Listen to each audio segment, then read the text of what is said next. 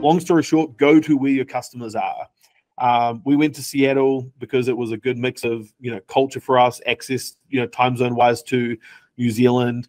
Um, but as we started building Leader, we went to where we felt like we could find great employees at a reasonable price, um, because that's a really important factor. So, you know, current startup hubs in the states, obviously LA. There's you know more Silicon Beach kind of stuff going on there now.